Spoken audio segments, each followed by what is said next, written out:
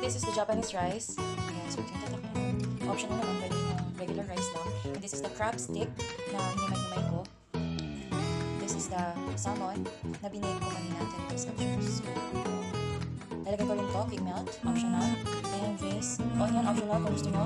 Onion or cucumber, depende sa inyo. So, itatabi ko yung other half ng salmon kasi gagawa pa ako bukas. So, ito yung gagamitin ko. Actually, hindi na to kailangan pero kung gusto nyo lang mas masarap yung baked sushi, sushi nyo kasi naka-order ako before merong konting salmon. So, lagyan natin para masarap.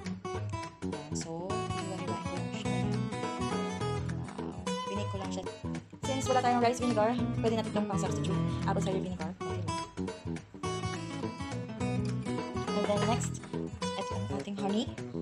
Mura lang to. Uh, 137 pesos ko lang siya nabili. Honey or you can put uh, for sugar. Kasi.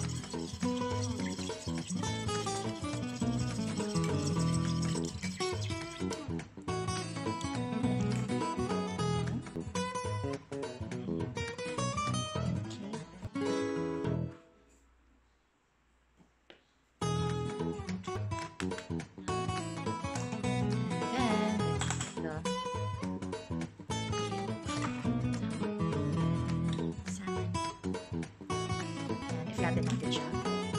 And then, let's put some cheese under the crab sticks.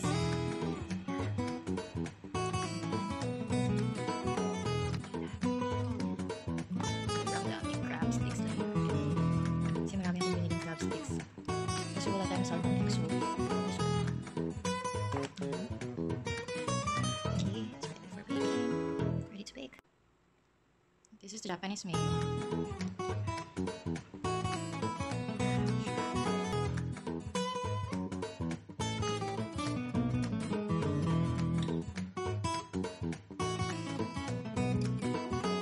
So finally, this is the baked sushi.